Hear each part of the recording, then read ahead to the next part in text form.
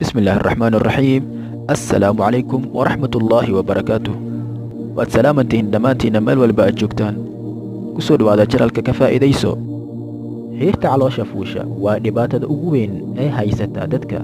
Gaar ahaan ragga waxaana la og yahay inay tahay baruur isku timaaday oo caloosha soo fuusha laakiin waxaa jirta sharaxaad cilmiyeed oo ku saabsan xiirta weyn gaar ahaan ragga oo ka dhiga jaamacadda californiya ayaa sharaxaad ka bixiyey asbaabta keenta in caloosha ragga ka weynaado maxaa u sabab ah in nimanka ay ka fuusha xiirta caloosha ama baruurta ka korto caloosha? Sida caadiga ah ragga jidhkiisa wuxuu keedsadaa tamaryo nafaqo waxaana u keedisaa caloosha.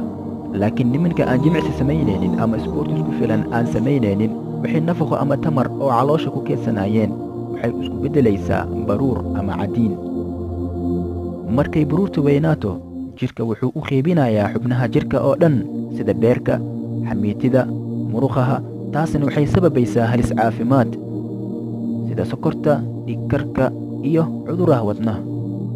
Dumarka iyo ragga ma ku kala duwan yihiin baruurta caloosha?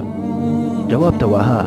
Dakhtarka arrintaas waa la weydiiyey ayaa wuxuu dhahay keedinta tamarta labka iyo dhidiga farqi ayaa u dhexeeyo haddii haweenku baruurtooda xad ka dhaafto waxay jidhkeeda u qeybisaa meelaha jidhka tamarta ugu baahan sida bawdyahada iyo lugaha. Waayo waxay ka caawisaa xubnahan inay tamar ama xoog ka hesho wakhtiyada uurka ay qaadaan iyo naasnuujinta laakiin haddii baruurtu sii xad dhaafto markaas caloosha ayay ka fuulaysaa baruurta. Waa mahadsantihiin daawadayaal. Ha ilaawina subscribe iyo like